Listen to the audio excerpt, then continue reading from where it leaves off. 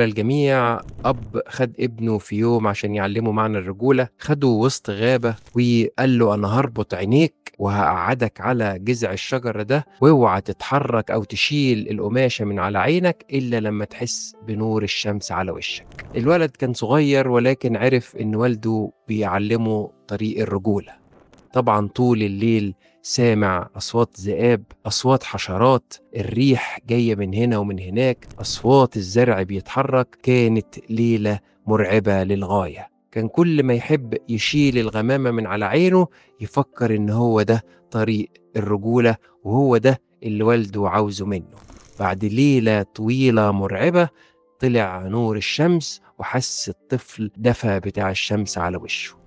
رفع الغمامة لقى والده قاعد جنبه على جذع الشجر الآخر. كان طول الليل بيحميه من أي مخاطر. الخلاصة مهما كنت مش شايف مهما كنت أعمى في الطريق مهما كنت حاسس الخطر في كل جزء من حياتك اعرف إن ربنا قريب منك طول الوقت. اعرف إن ربنا بيحميك حتى لو ما كنتش شايفه.